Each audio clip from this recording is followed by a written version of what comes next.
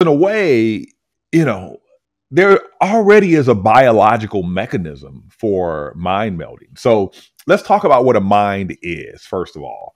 Uh, a mind is made up of neurons, it's a neuronal concentration. And that is not to be taken for granted. Every animal does not possess a mind.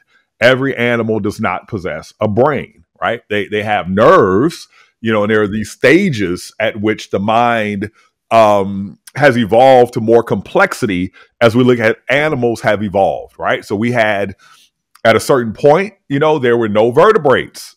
You know, you had your mollusks, your bivalves, you had your sponges, you had your jellyfish, right?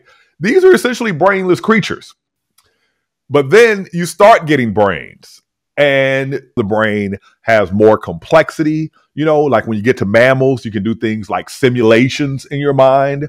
Um, and then eventually you get to primates and, uh, you know, maybe some cetaceans, you and some other creatures, you get what is known as a theory of mind. I know that you also have a mind and I have a mind, right? And so it's at that stage that you can mind meld. So on the planet Vulcan, the Vulcans come from the planet Vulcan, which is a different planet from Earth. There would have been a very different evolutionary pathway or a different evolutionary pathway.